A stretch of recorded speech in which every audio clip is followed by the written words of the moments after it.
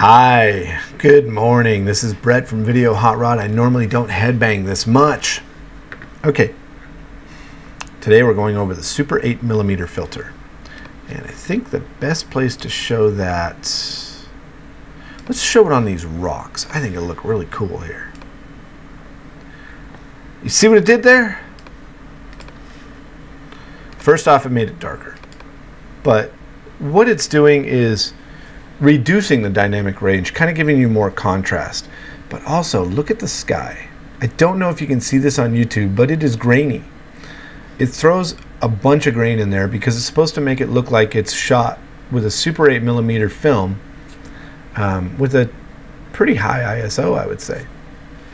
Okay, you have an amount. This is zero amount. And turn it up and you get a little vignetting here and a lot more grain in the clouds and in the light areas, actually all over the place. Uh, you have a hue bias. This one's kind of fun. Um, kind of goes from a greenish hue to a magenta hue to a purple hue to a blue hue. Uh, there's even kind of a yellowish in there. So that's a fun one because normally in in developing Super 8 millimeter film, um, the chemicals and the length of time that, that things stay in the trays will cause it to have a different hue. So this hue bias is, a, is kind of fun to play with. If you've ever seen the movie Traffic, I don't know how it was shot, but they use this hue bias to identify the different areas um, that each event was happening. So in Mexico, for example, as they're showing the clips in Mexico, it's very yellowish and then as they're showing the clips in United States for the kids it was blue and then for the adults it was like pink or magenta. So it was it was very much like this for the adults like this for Mexico and like this for the for the kids that were taking the drugs in the in the movie Traffic. Um, I fell asleep in that movie but it was a good movie. I just there was no music and music keeps me awake. It just uh, it was awful. Anyway, good movie. I couldn't take it. Anyway, okay, so let's move on.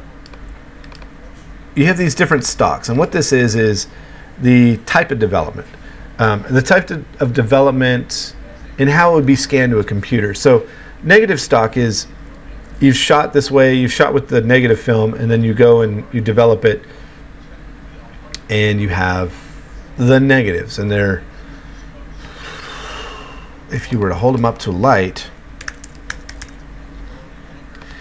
they would essentially look like this. Okay?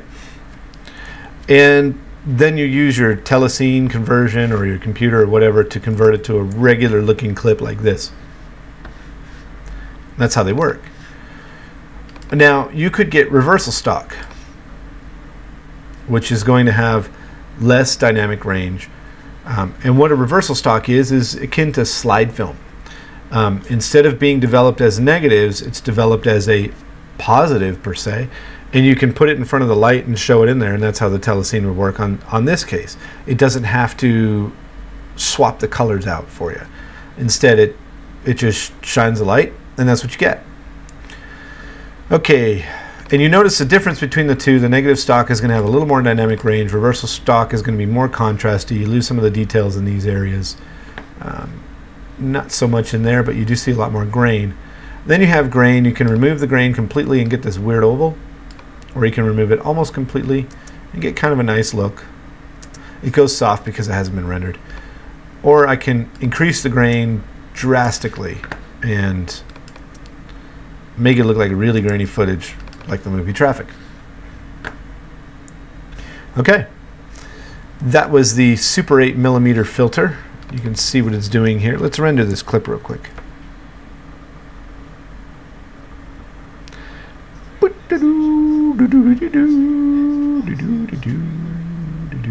No stories while I'm rendering this time. It's just not long enough. No stories. Some people like the stories, some people hate them. Okay, now it's playing really slow. Thanks for rendering my clip and playing it slowly. Let's do this on another thing. Let's throw it. Let's throw it on these rocks. Yeah, throw it on these rocks. This will play better. I think it's the LUT.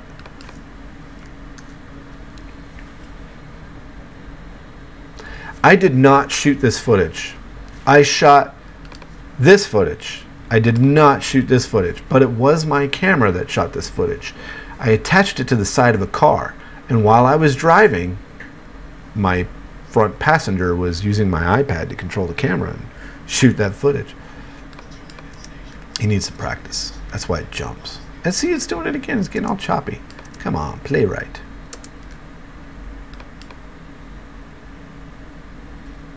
I think it's the rendering. I don't think it can play it as fast as it wants because it's recording me at the same time. All right, whatever. You've seen what it does. Okay, so that's the Super 8 filter. Let's go on to the next. Well, we're not going to go on to the next. I'm going to leave you hanging for tomorrow. And then I'll go on to the next one tomorrow. The next one's going to be Subway Shadow. So enjoy that one. You're going to have a laugh. All right? This is Brett from Video Hot Rod. Thanks so much for watching. Go ahead and like and subscribe and all that good stuff. And we'll see you later.